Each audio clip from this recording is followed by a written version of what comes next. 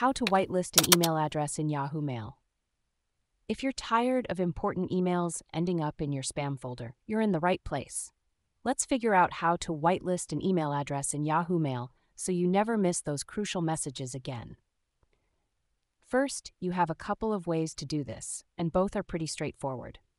You can either add the sender to your contacts or create a filter. Let's start with adding the sender to your contacts. When you receive an email from the sender you want to whitelist, open that email and check the box next to it. Then, click on the three dots at the top and select Add to Contacts. You'll need to specify a name for this contact, which is a requirement in Yahoo Mail, unlike some other email services.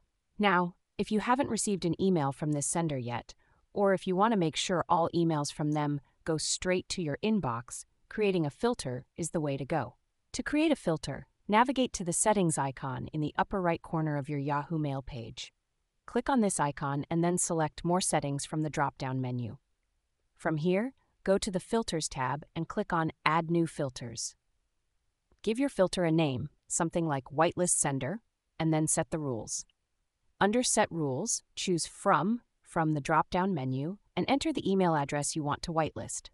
For example, if you want to whitelist emails from news at cubities.com, you would enter that address here.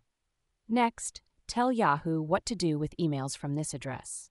Under Choose a folder to move to, select Inbox. This ensures that all emails from this sender will go directly to your inbox instead of the spam folder. Click Save to create the filter. If you need to whitelist multiple email addresses, you can repeat this process for each one. Another important step is to make sure you whitelist any secondary email addresses from the same sender. For instance, if you're whitelisting news at cubities.com, you might also want to whitelist support at cubities.com. To whitelist a whole domain, you can enter the domain name in the from field instead of a specific email address. For example, entering cubities.com would whitelist all emails from any address within that domain.